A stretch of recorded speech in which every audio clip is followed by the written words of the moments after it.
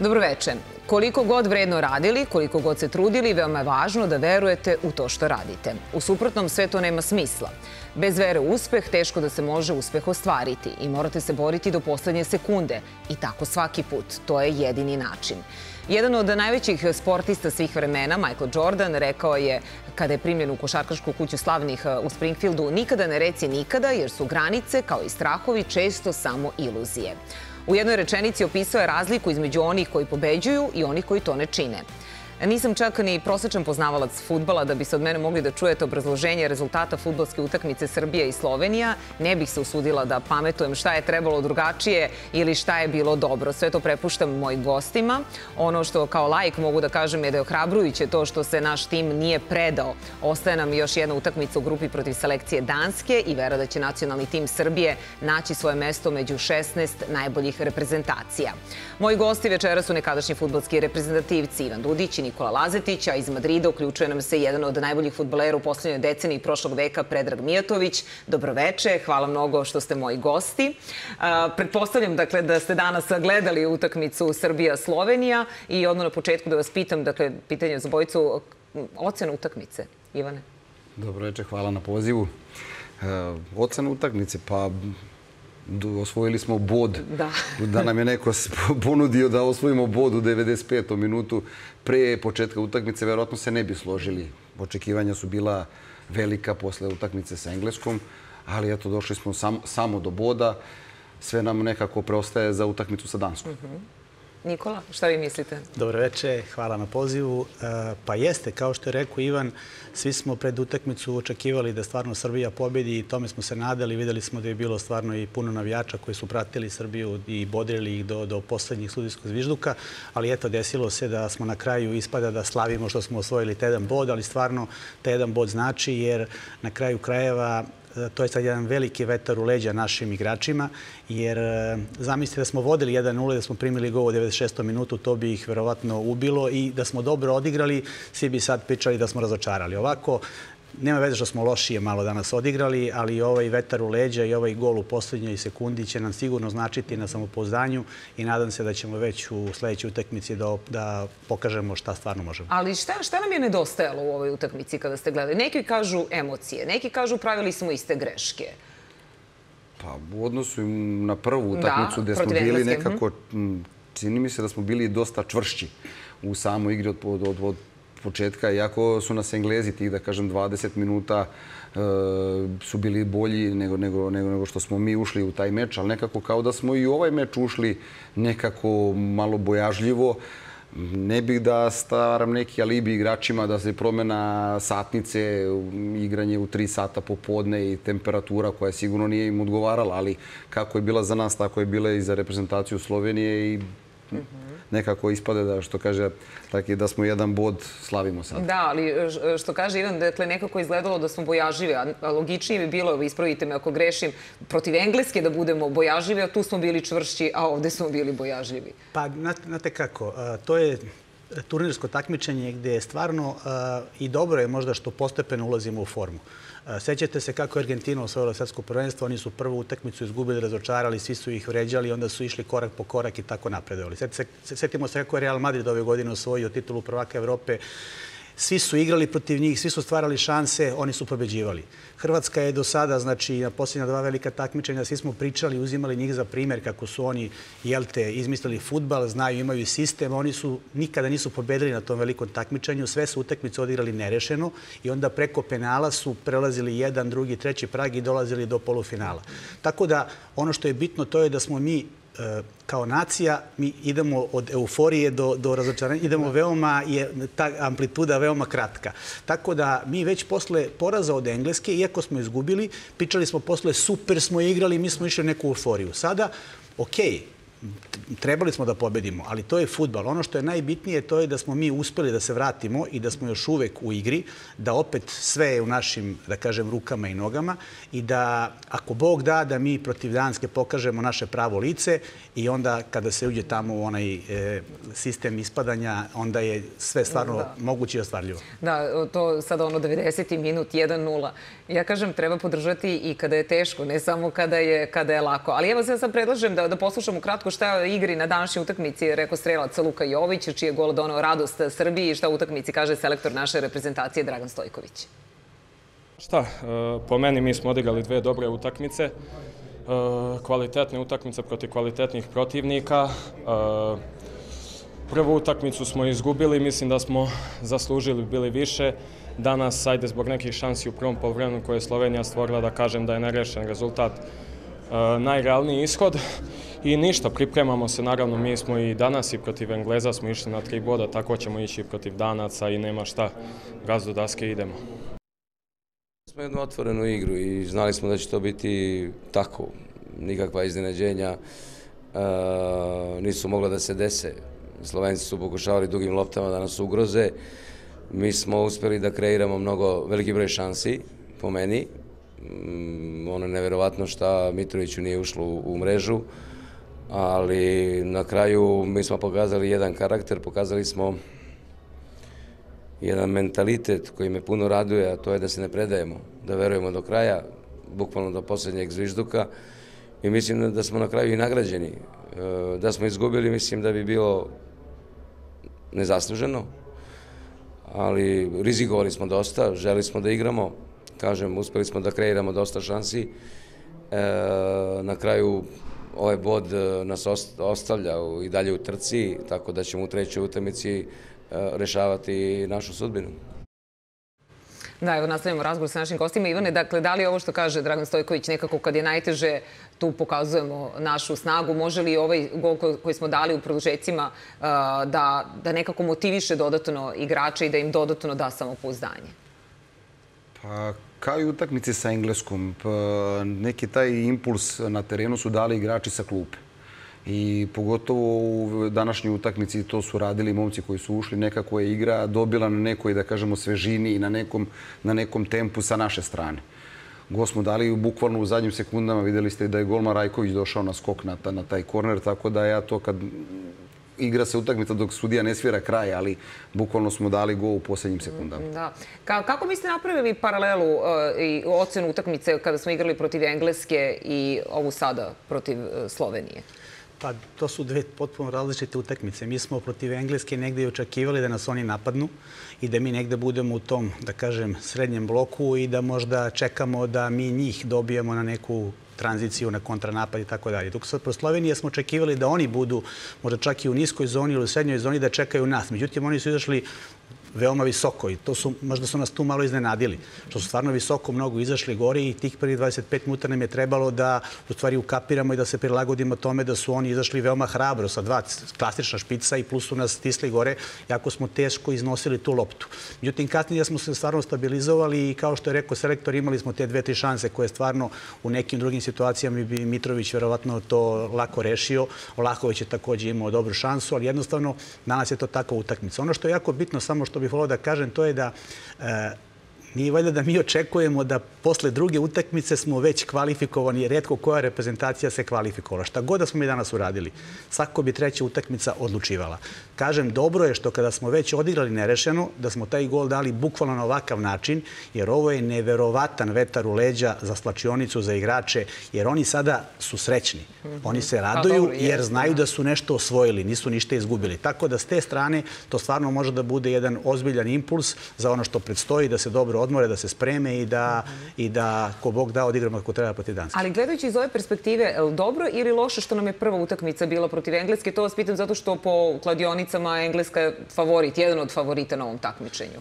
Pa nema pravila. Naprimjer, e, bilo bi loše da je danas e, pobedila Engleska, onda ta zadnja možda utakmica ne bi nešto mnogo značila, pa bi možda i oni odmarali neke igrače u tom smislu. Ali s obzirom da su danas oni odigrali nerešeno, oni će svakako tu treću utakmicu igrati verovatno u punom sastavu, nema kalkulisanja, jer i njima, bez obzira na sve, moraju da osvoje bar boda da bi bili ono 100% sigurni. Tako da u tom smislu nema tu pravilo šta je bolje, šta je loše. To je turnir, sve ekipe koje su na tom takmičanju su tu zasluženo koji god danas potegne da ti dođe, stvarno je teško protiv njega mm. igrati. Videlo se i danas protiv Slovenaca, tako da jednostavno... Da, mi smo samo navikli ono Engleska, to su najbolje ekipe u Evropi i to je to. ali sada izgleda je svuda tako. Vi ste igrali protiv Slovenije na Evropskom prvenstvu. Da, baš sam sad hteo da konstatujem da osjećaj tada, mi smo tada gubili 3-0 protiv Slovenije, ali Nažalost, mi protiv te reprezentacije gde smo, da kažem, i tada bili favoriti na tom evropskom prvenstvu, smo gubili pa smo izvukli bod. Tako je i danas bilo, a opet, e, ja kažem, iz cijele te reprezentacije Slovene samo bi jednog igrača volio da vidim da je možda u našem dresu sve ostale, mi smo daleko bolji na svim pozicijama. Dobro, evo sad iz Madrida nam se uključuje jedan od najboljih futbolera sveta u poslednjoj deceniji prošlog veka, Predrag Mijatović. Peđe, dobroveče, želim da vam se zahvalim na izdvojenom vremenu i što se uključujete u naš program. Peđa, pretpostavljam da ste gledali utakmicu Srbija-Slovenija, pa hajde evo i vas da pitam koji su vaši utisci o igri reprezentacije Srbije. Prije svega da, da vas pozdravim, Minja i vaše goste, Ivana i Nikolu, moje drugove, saborce, rekao bih. Da. Imam ja mali hendikep, ja vas ne vidim, vi mene, pretpostavljam, vidite, tako da mi je malo čudno da pričam sa, sa ekranom na kom se ne vidi ništa, ali ajde, nekako ćemo, uspećemo, nadam se. E, meni se današnja utakmica svidela e, kad je karakter reprezentacije Srbije bio u pitanju, kad je bila ta neka neopisiva želja da, da se ostvari pozitivan rezultat, ostvari pobjeda. Mislim da je selektor napravio tim koji je mm, bio ofanzivan.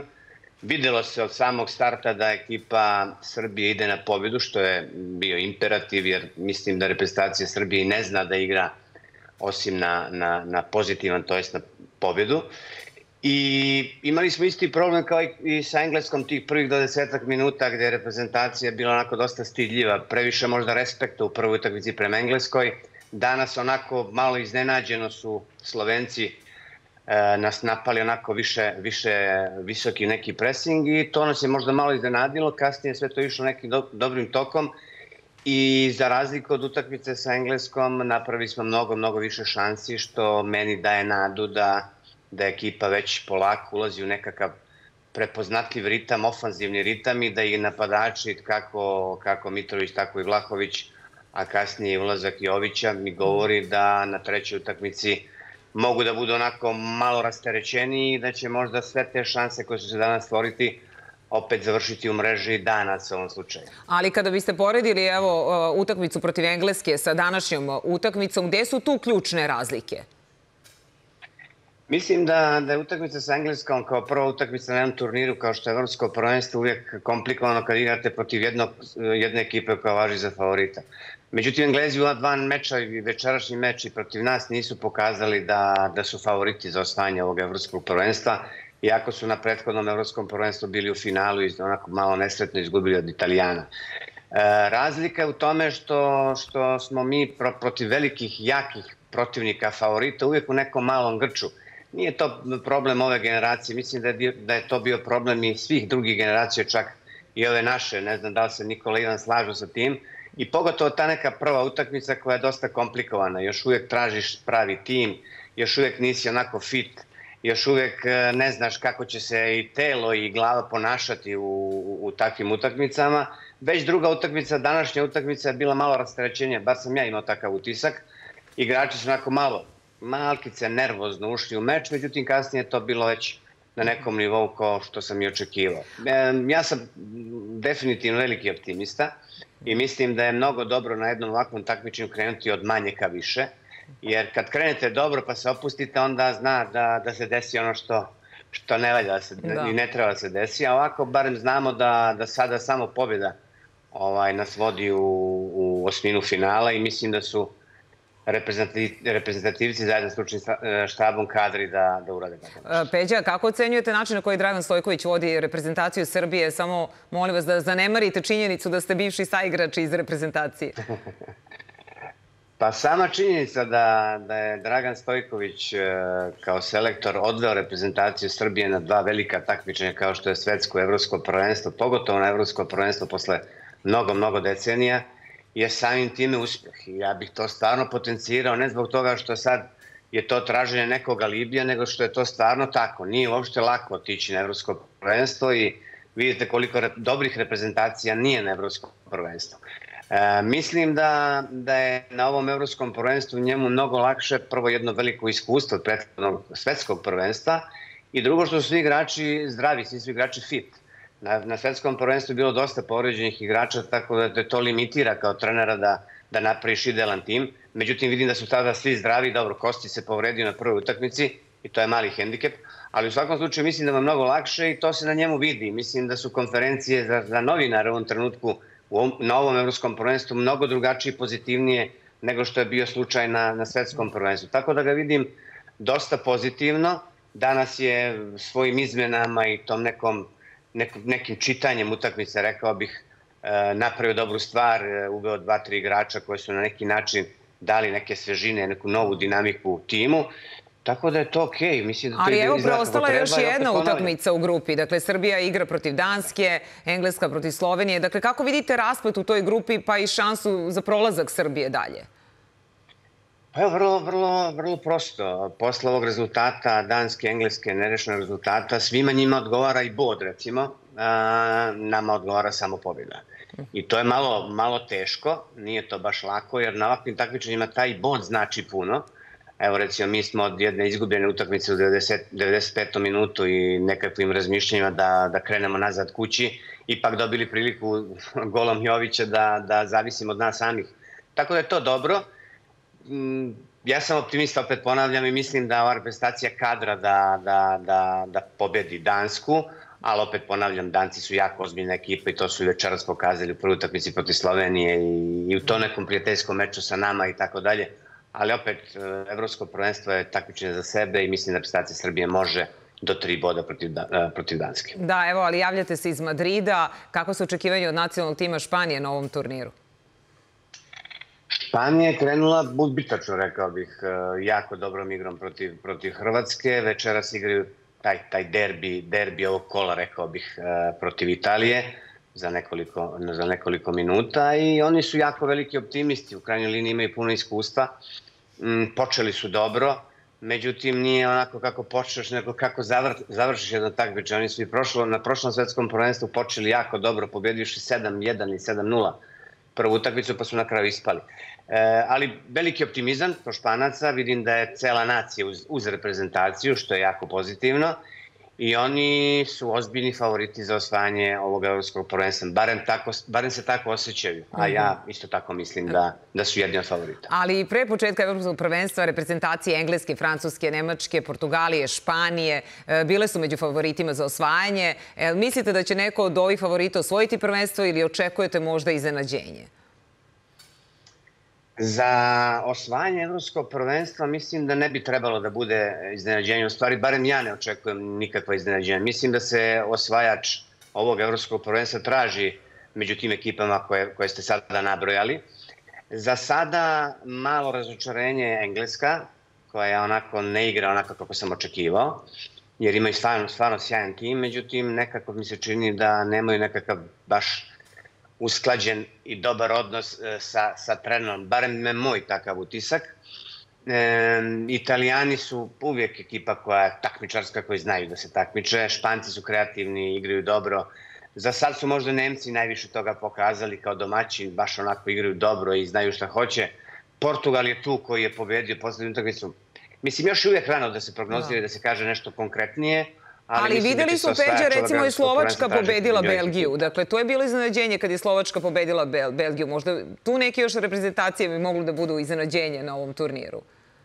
A možda može neko da iznenadi u fazi grupe, možda u osmini finala ili četvrti, četvrtini, međutim kasnije je mnogo teško. Pa imali smo primjer svetskog prvenstva ovaj, iz Katara gde je Maroko recimo napravio senzaciju, ali za nekakvo, za nekakvo osvajanje ili tako nešto mislim da je jako komplikovan. Mada u futbolu se nikad ne zna. Da, Peđa, vi ste prestali da igrate futbol, čini mi se, 2003. godine sa 34 godine. Svoju poslednju utakmicu za reprezentaciju Jugoslavije odigrali ste 30. aprila e, iste godine protiv Nemačke. Kako objašnjavate tu činjenicu da Cristiano Ronaldo sa 39 godina i dalje igra na visokom nivou za nacionalni tim? A Cristiano, Luka Modrić, Pepe koji ima 41 godinu još uvijek je tu. Mislim, to su surovi profesionalci. Ja nisam bio tako dobar profesionalac kao što su oni sigurno, jer da sam bio tako dobar profesionalac, vjerojatno bih igrao duže. A, malo se našalimo. Da. Ali ovaj, futbalski fanatici, ja i Kristijana znam i lično i Pepe, a sve su to igrači koje sam ja doveo u Real Madrid kad sam bio sportski direktor. I stvarno su momci žive za, za, za ovu profesiju, žive za, za futbal. E, idu da spavaju misleći, razmišljajući o futbalu i bude se ujutro razmišljajući o futbalu. Znači hrana, ishrana, treninzi, apsolutno je sve dovedeno do perfekcije. Tako da mene lično to ne iznenađuje, iskreno vam kažem, -hmm. jer su se te granice pomerile shodno životu i svem onome i tehnologiji koja danas postoji. Da. Mislim da se taj futbalski vek produžava i to je jako pozitivno, pozitivno za mlade igrače, barem imaju primere kako i na koji način treba shvatiti ovu profesiju, kako je treba u stvari doživljavati i kako se treba ponašati. Da, to ste lepo rekli. 40. su nove 30. 30. su nove 20. i to se sad sve pomera. Evo recimo, ja se osjećam kao da imam 45, a ne 55. to, da. A, ali evo, imali ste veoma uspešnu klubsku karijeru, postigli ste gol u finalu Lige šampiona, doneli Real Madridu titulu prvaka Evrope posle 32 godine, 97. godine osvojili ste srebrnu loptu, France Futbol odmah iza Ronalda, ispred Zidana. El postoji možda žal što sa reprezentacijom možda niste ostvarili veći uspeh? E, svakako da postoji minja. Ovaj, to je nekako jedina stvar koja mi je ostala onako malo po strani koju sam jako želio, ali nisam mogao da, da, da, da, da postignem. Mada je moja generacija i generacija posle mene, ta bliža generacija koji pripadaju Ivan i Nikola, mi smo bili hendikepirani jer smo zbog embarga i situacije u našoj zemlji izgubili nekoliko velikih takmičenja. Možda tada kad nam bilo i najpotrebnije, kad smo bili mladi, kad smo trebali da se formiramo i kao futbaleri i kao ličnosti. E, 92. E, evropsko prvenstvo vratili smo nas iz Švedske, onda je 94. prvenstvo u Americi futbalsko smo izgubili, 96. evropsko u Engleskoj. Tako da smo tri velika takmičenja izgubili, to je mnogo za jednu generaciju. Kasnije smo imali prilike da igramo i svetsko i evropsko, ali mislim da smo bili hendikepirani možda zbog toga nismo na kraju napravili nešto što se možda i od nas i očekivalo. Ali ajde, valjda će se pojaviti neka nova, nova generacija koja će nam doneti veliku radost. Da, pa sigurno sam da hoće, to ćemo pitati i direktora mlađih selekcija u Futbolskom savjezu Srbije Nikola Lazetić. Oni su ustvarili uspeh, ali to ćemo nešto kasnije. Peđa, hvala mnogo na, na ovom uključenju. Uh, hvala i vama. E, nastavljamo razgovor dalje sa našim gostima, Ivan Dudić i Nikola Lazetić. Dakle, e, evo, čuli smo i e, šta kaže Peđa Mijatović, ali me zanima, dakle, ono u medijima, obično ono što čitamo, to smo čitali kada je bilo na svetsko prvenstvo u futbolu, kažu da je atmosfera u timu jako važna. Kako je vaše mišljenje? Dakle, koliko to, ako, ako smo dobri, ako smo složni, ako je ta pozitivna atmosfera, da to nekako nam dodatno daje snagu da bolje igramo? To je u svakom timu, nije samo u futbolskoj reprezentaciji. To je u svakom timu bitno da, svakom, da. Tako je, da, da, da bude na... Pogotovo kada su ovakva takmičenja da, turnirskog tipa, kratkog formata, da kažem, da, da nije kao prvenstvo gde to ima vremena i da se neke stvari možda u hodu isprave i, i dorade i dopune. Na kraju krajeva imate više vremena. Tako da je atmosfera prvi preduslov da bi, da bi do nekog rezultata došli. Da. Ali evo, moram i ovo da vas pitam, Nikola, šta mislite o potezu uh, Dušana Tadića, koji je prvo javno kritikovao selektora, posle toga se javno izvinio uh, selektoru? Pa dobro, tu se vidi da je Dušan Tadić onako iz srca govorio i vruće glave, što se kaže, treba uvek prespavati, dobro razmisliti. On je svojim zalaganjem, ponašanjem i svojim primjerom do sada pokazao kakav je lider, kakav je čovek, kakav je futbaler. Stavljam i apostrofiram to čovek jer je on stvarno dobar čovek i on je stvarno neko ko je primer u svakom smislu te reči.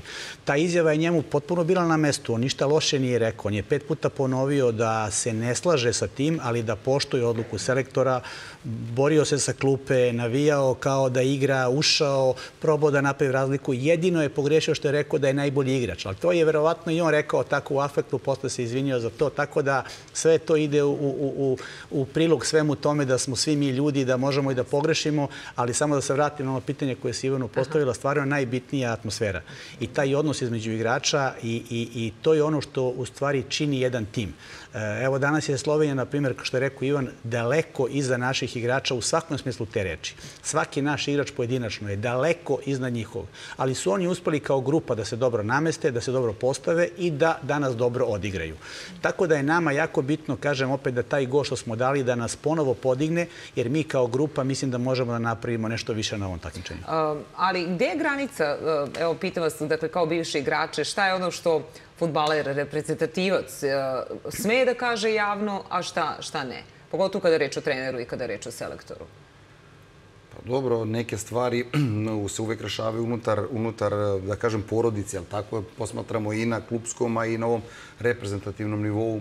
Tako se i odnose na kraju krajeva. Oni su, pogotovo što je ta jedna grupa igrača i osvojila osvojila prvenstvo na, na Novom Zelandu, gdje je ta jedna generacija, otprilike to uvek ima prednosti. Nikola i ja smo zajedno i prošli omladinske, omladinske dane u Crvenoj zvezdi i nastavili posle, tako da neke te stvari daju prednost u odnosu kada su velike razmak u godinama i velika, da kažem, generacije se, su između toga.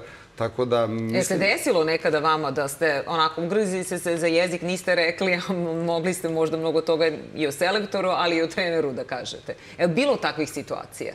Pa bilo je.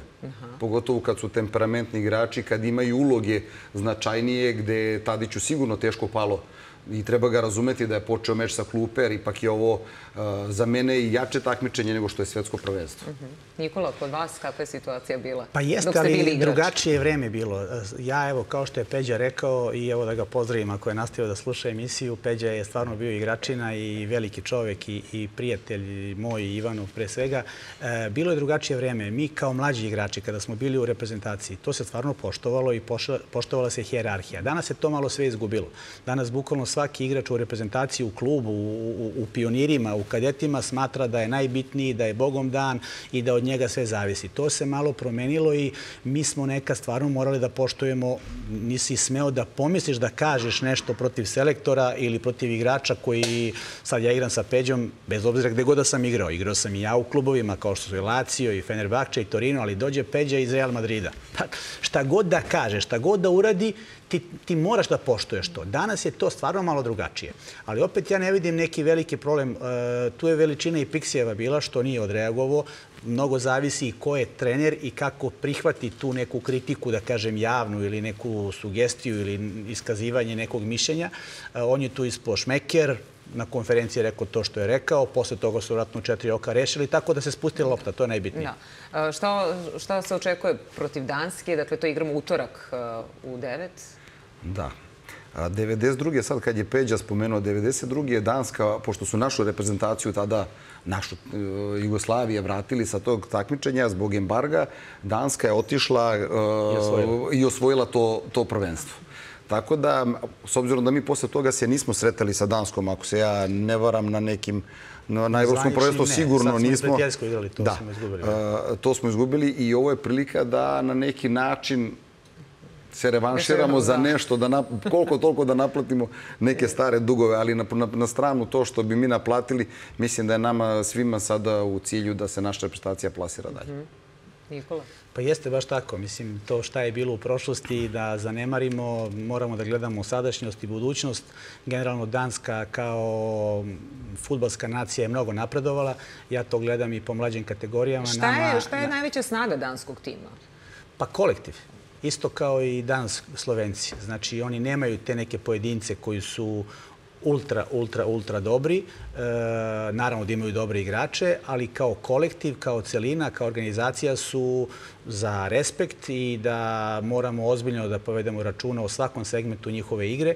Jer, kažem, ja, ja u mlađim kategorijama, kada god smo se susreli sa Danskom, sa Norveškom, sa, sa Švedskom, sa tim skandinavskim zemljama, vidi se nenormalan napredak od mlađih kategorija, već oni kako igraju, način na koji prilaze utakmicama, kako su organizovani, a nemaju ni jednog da kažeš pojedinca u mlađim kategorijama koji igra u nekom zvučnom klubu. Ali jednostavno su se tako namestili. A, na šta bi trebalo, recimo sada kada bi se Dragan Stojković pitao, na šta da obrati posebnu pažnju sad u ovoj utakmici protiv Danske? Šta biste rekli?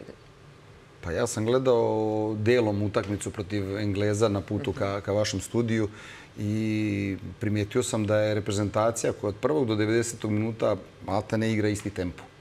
Tako da taktika, neke, neke stvari koje baš ovde na početku pre početka emisije sam rekao, ja mislim da je Pixi sad u problemu iz prostog razloga što na osnovu dve utakmice, ja bar tako gledam, on nema, čini mi se, jasnu sliku našeg tima ko je zapravo u pravoj formi da izađe protiv danaca i da mislim da u narednih pet dana će imati izuzetan zadatak ispred sebe. Nikola? Ne bih se osudio da dajem Pixiju nikakav savjet. Danas ima toliko analitičara koji vidim po televizijama, sve znaju, sve bi oni to bolje uradili, sve bi to rešili, a niko da suvoti da radi neki posao u nekom klubu pa da pokaže sve što zna. Moje je samo da poručim da smo svim srcem uz njih, da navijamo i da se nadamo da će da pobede i da obraduju naciju. To ste lepo rekli, nekako je najlakše kritikovati, sedeti sa strane i onda re, govoriti šta, šta ne valja. To je danas najbolji posao. To sam razmišljao jednog dana kada ne budem više hteo da budem u grotlu ovih problema i svega ovoga se dešava.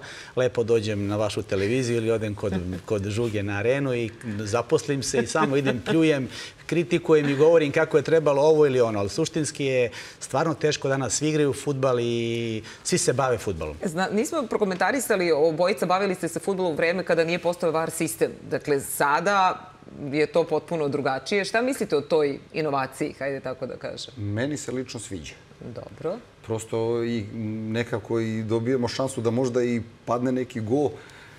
Nisu -hmm. samo sada sudije u prvom planu, da kažemo da samo striktno njih zavisi, ali ipak imaju sada neku možda veću kontrolu.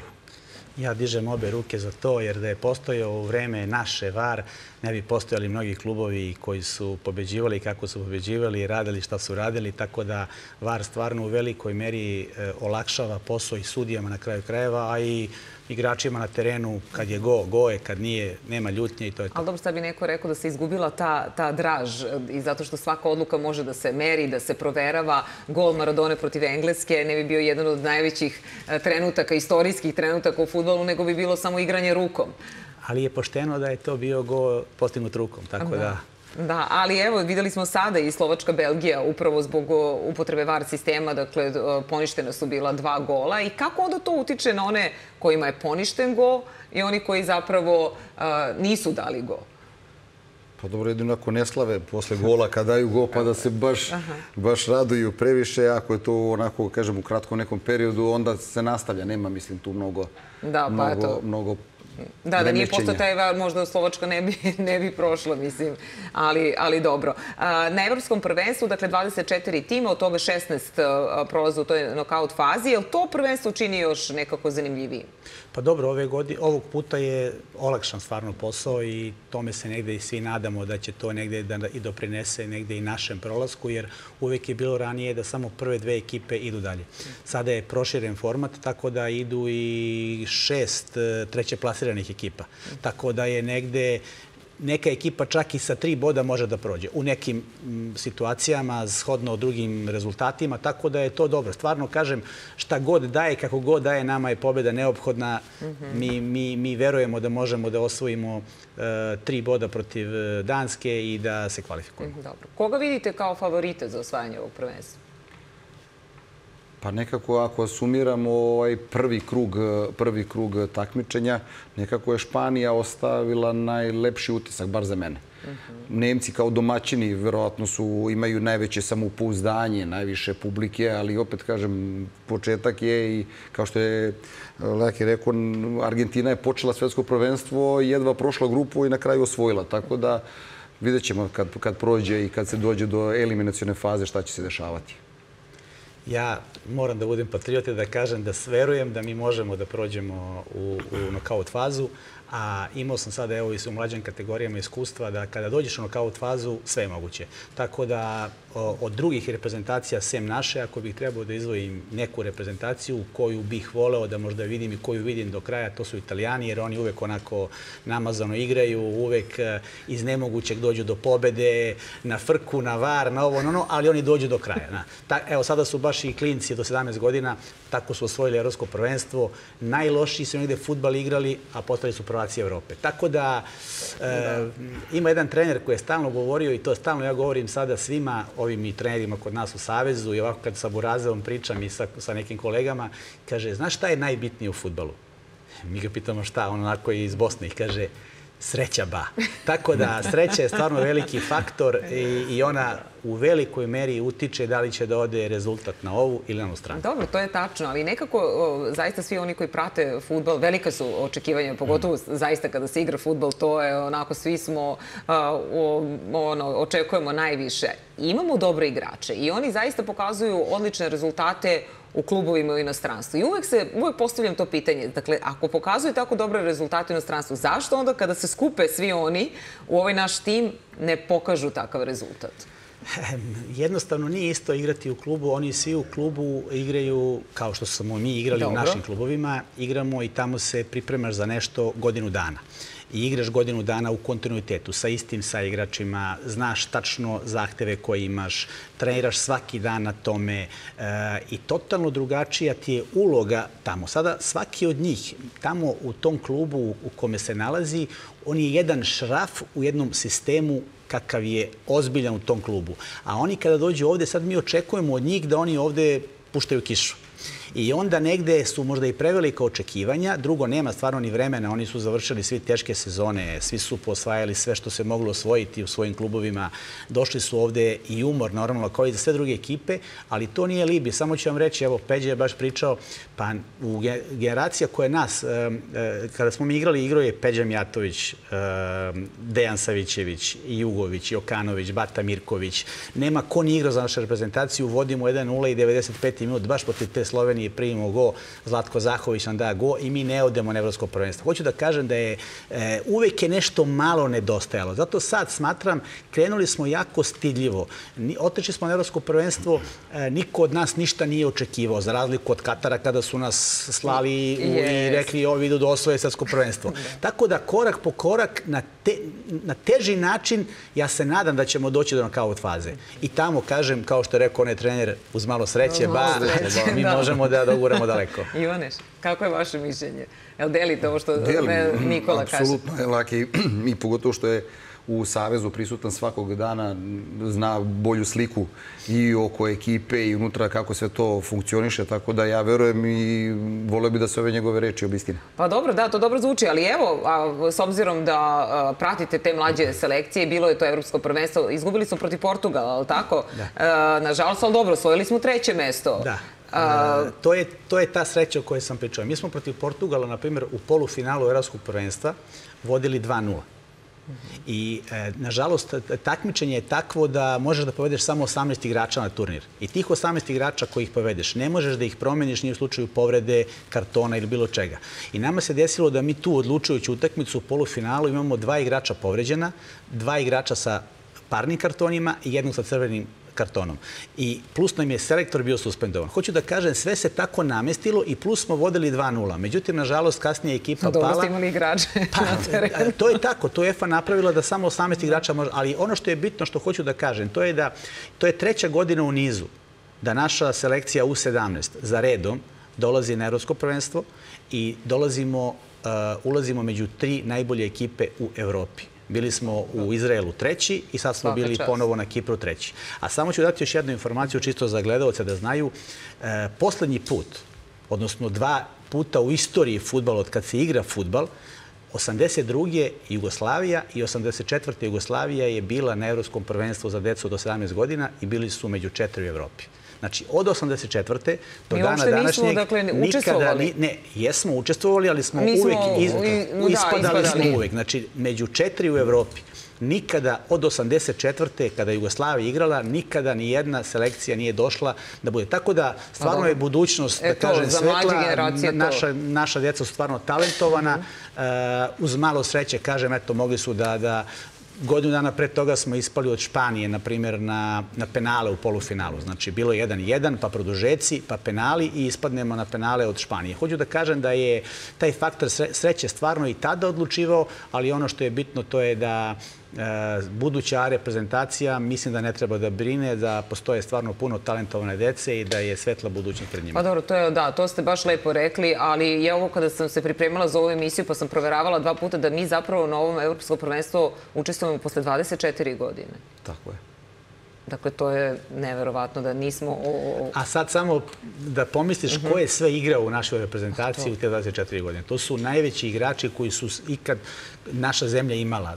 Nabrao sam pre neke, i Siniša Mihajlović i ne postoji kakve veličina nije, nije sa ovih prostora. Bili smo i Velika Jugoslavija u jednom periodu pa nismo, nismo otišli. Da. Hoću da kažem da je ovo stvarno veliki uspeh da dve, dva puta u nizu, znači i evropsko i svetsko, mi smo učesnici i najveće smo otišli. Ali ono što ne da nam se desi, verovatno na ovom takmičenju, jesu povrede. E, važno je da održimo taj dobar duh. Evo, pomenu, pomenuli ste e, i reprezentativca Filipa Kostića koji se povredio na ovom takmičenju. Pretpostavljam, da li to može da utiče na, na ekipu pa i na dalje igranje?